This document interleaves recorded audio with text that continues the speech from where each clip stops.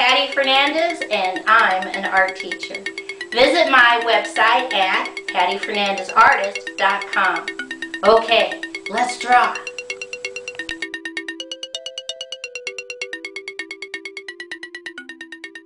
Today's project is how to draw the Washington Monument. I take one finger way down here at the bottom in the center and I put a dot. And from that dot going towards the right, I'm going to draw a straight line, curve line, and stop. I go back to the dot towards the left, straight line, curve line, and stop. Now, for this project, there's going to be a lot of what I call floating lines. We're going to connect things after we finish drawing them. All right, I take one finger now all the way at the very top in the center, and I put another dot. And from this dot, we're going to draw a triangle. Straight diagonal out, come back to the dot, straight diagonal out, come back to the left, connect the two, and there's our triangle. Now I come back up to the first dot and I draw a straight diagonal out and I draw a straight line, connect. now come floating lines. I start over here on the left and I'm going to draw a straight line down all the way and stop.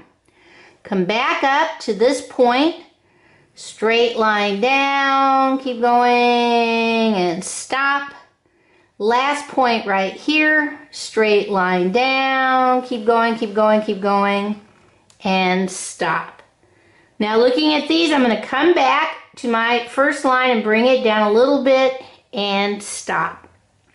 Okay, now we're going to draw straight line, straight line, straight line, straight line, straight line, and maybe one more straight line, okay? I go back to my first straight line and I'm going to draw a little curve line up, straight line down, straight line over, connect. Little curve line up, straight line down, straight line over, connect little curve line up, straight line down, straight line over, connect. Little straight line up, curve line up, I'm sorry, straight line, connect. Little curve line up, straight line, connect. Little curve line up, straight line, straight line, connect. Now I come back over here and I'm going to continue this curved line up, bam, until it crashes into that line, jump over, draw another curved line, bam, that crashes into that, jump over, continue, and then connect, okay?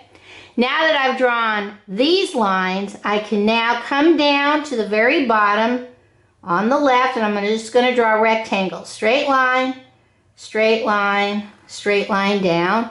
And now I'm going to continue this line all the way down until bam, it connects. Straight line down, jump over, straight line, straight line down. Now, some of you might crash into things sooner. Some of you might crash into things later.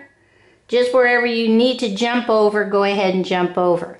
Now I'm going to come back over here on the left and on the outside, I'm going to put straight line, straight line, straight line, jump over, straight line, straight line. Go back to the first one, little curve line up, straight line, straight line, connect, little curve line up, straight line, straight line, connect, little curve line up, straight line, straight line. Jump over, little curve line up, straight line, straight line, little curve line up, straight line, straight line. Now I'm going to come all the way down here and I'm just going to put one, two little straight lines. And I'm going to come all the way back up here at the top and I'm just going to draw little box one, two, and over here little box one, two. Okay. Now I come back to the inside of this and I'm just going to draw a curved line down, around, jump over, jump over, jump over, continue, little straight line, jump over, jump over, come all the way to the top, and connect. Okay, now I come about midpoint and right about here I'm just going to go curve line, curve line, curve line, curve line, curve line, connect, jump over, curve line, curve line, curve line, curve line, curve line off the page. I come up just a little bit and now I'm just going to draw a straight line across, jump over, straight line across, and on the top, I'm just going to go wavy, wavy line.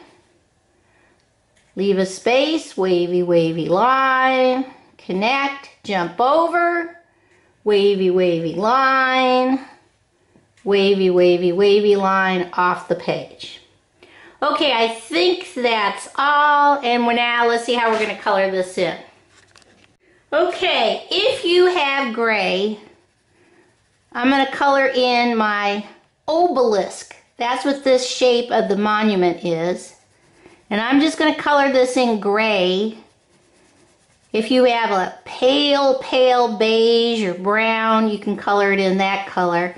But it's just a magnificent monument. It's monumental. So this is all the obelisk, and that's why I'm coloring it in gray. And this little rectangle down here, this is the entryway. Okay? All right. Next, this little ring divides up the greenery from the outside of the monument and the inside. So this little space right here should be like a light brown. Okay. Then these are bushes. So I did these dark green all the way across. And then this whole area I did dark green also. And this is a lot to color. So do the best you can. It goes all the way around and up on both sides. Okay? Now, for the inner circle, this is also like grass, but I used a light green. If you don't have a different color green, you can just color very lightly with your regular green. But this I want to kind of make two-toned. Okay? Then, this is a water component. So I'm going to take my dark blue-green and just draw some curvy lines. And then over that, lightly color turquoise or blue-green. Okay. And then the last part of the big sections, this is sky, and I just did this a blue. Lightly. Because you want the main emphasis to be the obelisk of the Washington Monument. You know, and it's interesting, they started planning the monument even before George Washington was even elected president. Okay, now, this is important because these are your flags. And I don't know how little teeny tiny you can draw. So I'm just going to put a little square of blue in one corner, the upper right. And then I'm just going to take my red and do two straight lines if I can.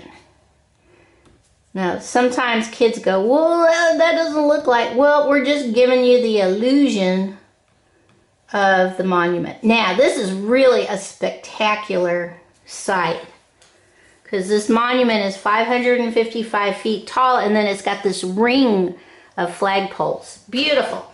Okay, let's see what this looks like all colored in. Okay, here's the Washington Monument all colored in. A truly spectacular monument for George Washington and also for the, our country, the United States of America. Okay, bye-bye.